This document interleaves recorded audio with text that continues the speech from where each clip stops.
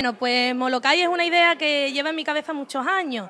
Y bueno, eh, es verdad que en el campo de Gibraltar no hay ningún centro que aglutine lo que es todas las terapias y todas las necesidades que tienen algunos niños. Y bueno, pues Molokai da respuesta a esas necesidades, orienta a los padres y sobre todo es una filosofía de vida, ¿no? Es ayudar a los niños con necesidades y sin necesidades, porque aquí todo el mundo tiene cabida y sobre todo lo que se intenta es quitar las etiquetas y ver a cada niño tal y como es con sus capacidades.